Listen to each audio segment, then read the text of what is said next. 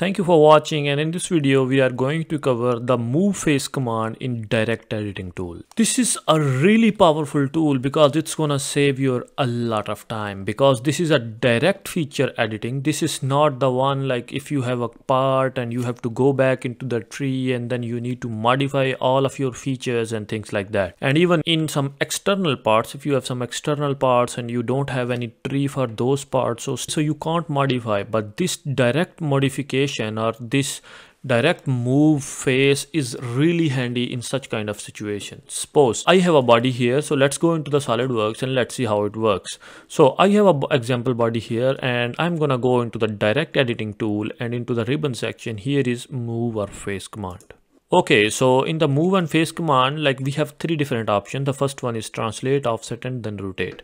So let's translate this. So for the translation, you just need to select a face, whatever face you want to translate, and then suppose I want to translate it till point three. Okay, and then I just can I can just click the green check mark look it is translated from that height till this height but there is a problem here. As you can see the chamfer is also gonna move from that point till here and it is increased. So what i can do is i can go back into the feature and then i can edit the feature. And then when i'm gonna select my first face then i can hold the control on my uh, keyboard and then i can select these chamfers as well. As you can see and then i'm gonna click the green check mark so in this way, although it is translated, but the chamfers are really fine as we want them before. Okay, so this was the translation and let's go back and let's edit it again. Okay, so what if I want to have an offset? So what I can do is I can just have an offset on any value for the chamfers or for the holes or whatever I want to operate. So the next cool feature is rotate. So I'm gonna go into the rotate and you can see like if you want to hold any side and you want to rotate it wherever you want suppose i want to rotate it like here you can just rotate this wheel or manually you can enter the degree how much you want to rotate and then you can just click the green check mark. Look it is rotated.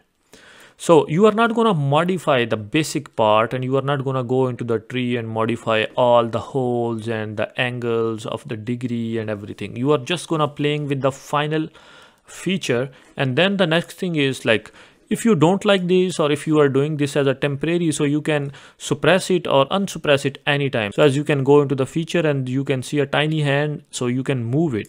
So in this way you can just suppress it. Or if you want to unsuppress it you can go back and bring it back so this is a really powerful tool i would say in such kind of situation when you don't want to modify your features and you want something for the temporary. As it happens a lot of time when you want to have a 3d print and sometimes the holes are not accurate or anything so what you can do is you can just use direct editing feature and you can just increase the the diameter of the circles or holes and then you can just create your STL file and then you can just suppress this feature and save the original file.